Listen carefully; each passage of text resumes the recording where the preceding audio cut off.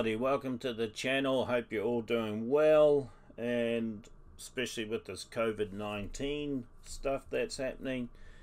Everybody must be working from home or going crazy, one or the two, right? Especially if you've got kids or teenagers doing schoolwork. So let's get into this here. Uh, so you notice that we're at the Radan screen here. Today I wanted to go over some Radraft so um, we can go ahead and show you a couple of things, right? So Radraft is good because if you don't have a 2D drawing package, you know, at least with Radan you can do 2D drawings, DXFs, save them as DXFs, whatnot right? And then go into nesting.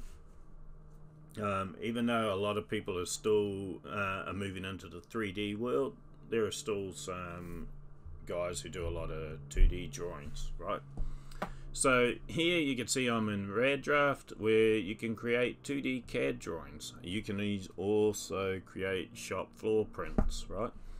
But I'm going to come in here. There's a couple of features here. So you've see in my side panel I've got lines, I've got arcs, I've got ellipses and shapes and so forth, notches and corner details. So this is all geared around sheet metal, right? So um, if I come in here and I want to create a line, you can see I've got connected lines. I can make a line and do connected lines. It stays connected all the time, right? So um, Another way is if I come in here, click on lines, I can actually do unconnected lines and do a line without them being connected. Um, so now we're going to move into shapes here. This is just a quick video, right? So shapes, I want to make a sheet metal pan, right? So I'm going to come in here and we're going to actually go 24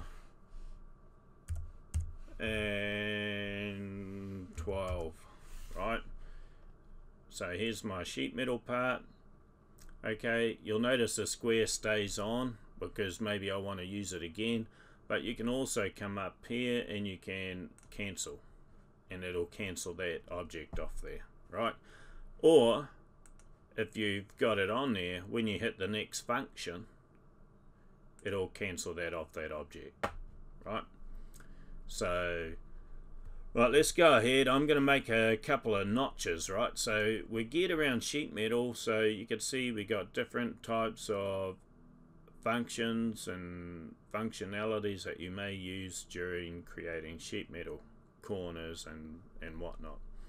So I'm going to do a mitered corner detail.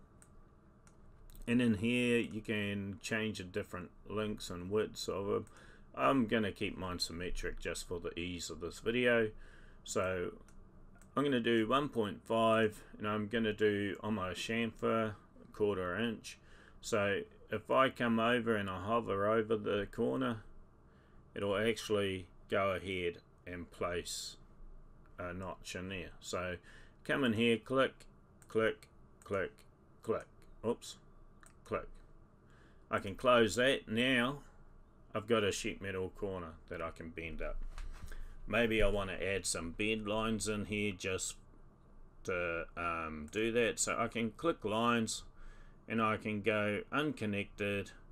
I can change a pen color and I can change the line type. So maybe I want to bend this up half inch. I'll do this one half inch. Half. Me half inch, sorry, quarter inch, right? And then we're actually going to do one here, one here, right? Now, with sheet metal, there's our there's our little pan or tabletop, whatever you want to call it, right? So um, what I want to do is maybe I want to put some holes in my pan in the corners so I'm just going to come in and go here and we're going to go 0.625 right and then I'm going to come in and I'm going to go origin right? So I can click this origin click on this corner. Then I can come down here and enter X and Y coordinates and I can go look I need to come in 1.0 on the X go 1.0 on the Y and there's a hole right? So you really don't want to do that on each corner. So this is where you'll come in and use the mirror. I'm going to mirror this. I'm going to mirror four corners right so repeat the corner directions and then how I'm going to do anything you want to do look up in here. This is very important. Look here and it'll tell you what to do. So indicate the first corner indicate an opposite corner indicate feature or drag a window. So there's my feature there's my holes. All done ready to go right? So now we've got a, a base plan here and there's my part. So I'm going to save this drawing. Save drawing. 2D CAD. And we'll just call it bottom pan right? So there that there is Radraft in a nutshell. You can do other sorts of stuff here. You can get into parametrics and you can do other stuff. But I re what I do recommend is if you need to learn more about Radraft or you want to dig deeper into Radraft go ahead, go to hexagon.com, jump on the Radan products there or training and get um, into a training class. Best way to learn it is do a training class, right? And, and um, if you're already a Radan customer and you want support as well, just log into the customer portal, create a case, and you'll be able to knock something out there, right? So there's my file.